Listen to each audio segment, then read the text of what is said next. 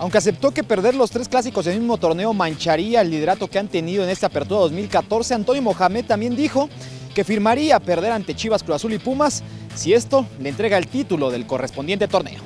Si voy a ser campeón, sí, olvídate. Ser campeón, sí, no pelear el campeonato. Ser campeón, sí, total. ¿Dónde? ¿Mm? ¿Dónde? El título la gloria no tiene precio. No nos gusta perder ese tipo de partido. Pero también es lo que hablamos íntimamente. Si me dicen que vamos a estar primero y que vamos a estar como estamos, tenemos que perder algunos partidos, bueno, lo que no queremos son perder ese tipo de partidos. Lamentablemente se dio así. Eh, y esperemos este partido no, no cometer los mismos errores que hemos cometido.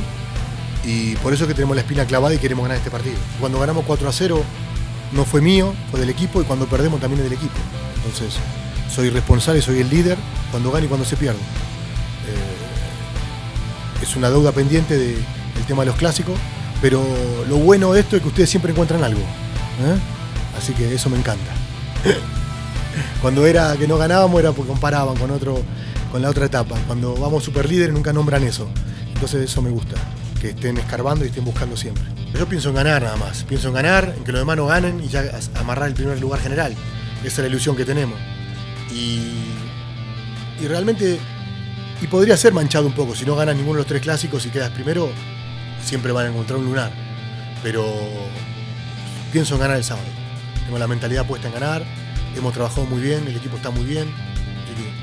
sueño con eso, no pienso en otro, en otro escenario. Nosotros clasificamos hace tres jornadas atrás y hubo una fecha FIFA y hace un mes que calificamos. Entonces, eh, el equipo el sábado puede mostrar un, nivel a tope. Yo creo que estos tres partidos que tenemos con Chivas, Toluca y Atlas nos pueden dar ese nivel que, ese plus que nos está faltando para llegar al tope de rendimiento. Tiene equipo completo, pero esperarán hasta este viernes para conocer las condiciones en las que llegue Miguel Ayun y de esa forma saber si podrán ocuparlo de vuelta en el cuadro titular o estará indisponible para enfrentar a las Chivas. Con imágenes de Aldo Gutiérrez, Juan Manuel Terán en línea con mediotiempo.com.